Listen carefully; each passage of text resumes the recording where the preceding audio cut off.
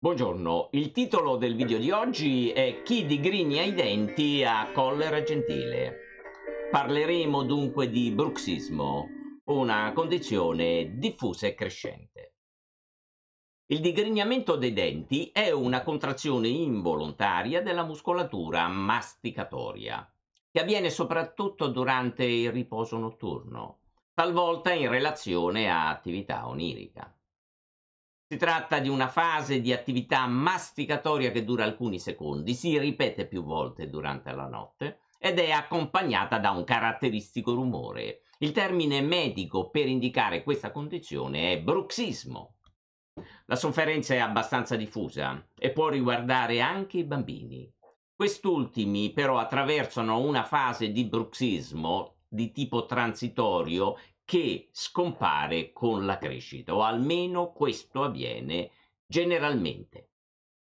Il bruxismo non è avvertito dalla persona interessata. Il rumore, infatti, causato dal bruxista è avvertito generalmente dalla persona che gli dorme accanto. Lo sfregamento dei denti disturba il sonno di chi dorme accanto al bruxista. Le complesse cause del digrignamento sono ancora oggetto di studio, anche se si sono osservati i seguenti fattori predisponenti. L'esposizione a stress può indurlo, l'aggressività soprattutto se compressa e non espressa, la parassitosi intestinale, si osserva anche una predisposizione familiare al digrignamento dei denti, le malformazioni mandibolari e i problemi di occlusione possono determinare questa condizione e infine il bruxismo si osserva negli stati psicopatologici alterati e nelle malattie neurologiche. Il bruxismo tende ad essere trascurato nell'erronea aspettativa che si tratti di un fatto passeggero.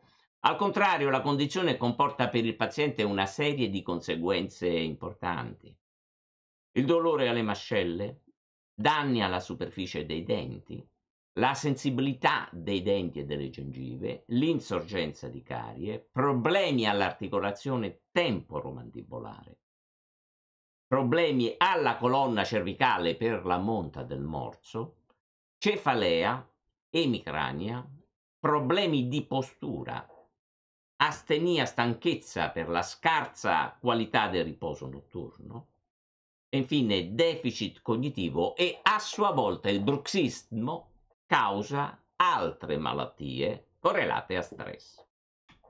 La terapia convenzionale del digrignamento dei denti si basa essenzialmente sui dispositivi. Questi sono denominati bite. Possono essere duri o morbidi a seconda delle necessità. I bite proteggono di notte però esclusivamente i denti, e non, evano, non evitano l'avverarsi del fenomeno né tantomeno le ripercussioni in tutti i settori esterni alla bocca. Tutti i pazienti con bruxismo dovrebbero essere incoraggiati, oltre che a portare il bite, a modificare il loro stile di vita, l'alimentazione, a verificare il microbiota intestinale, soprattutto utilizzare l'agopuntura per contenere la contrattura e la ripercussione dello stress sul morso. Secondo l'agopuntura, infatti, la eh, condizione del bruxista è conseguenza di collera gentile, ovvero una forte rabbia che viene compressa per educazione o opportunità in gentilezza, salvo poi liberarsi durante le fasi del sonno nel quale prevale l'inconscio. La trasmutazione di collera in collera gentile avviene spesso quando manca una corretta proporzione tra aggressore e aggredito.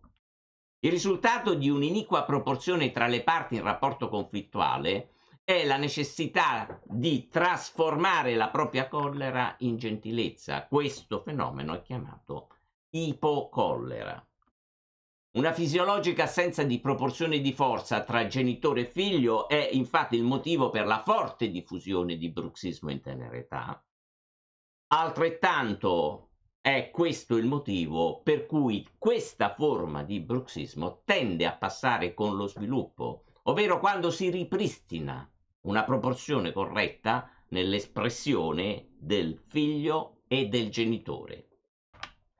Il bite da solo protegge i denti, ma nulla o poco può contro la sofferenza emotiva implicata e contro tutte le ripercussioni extraorali del bruxismo.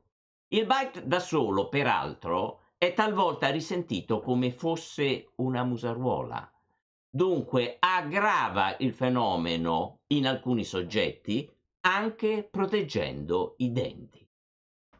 Nel bruxismo occorre un approccio multidisciplinare al trattamento, che comprenda il bite, la sanificazione dei problemi della bocca, il trattamento delle malattie che possono indurre il bruxismo, l'alimentazione corretta, lo stile di vita adeguato, un intervento sul microbiota intestinale e infine anche l'agopuntura per agire sulla componente stress e contrattura che è implicata nella sofferenza del bruxista.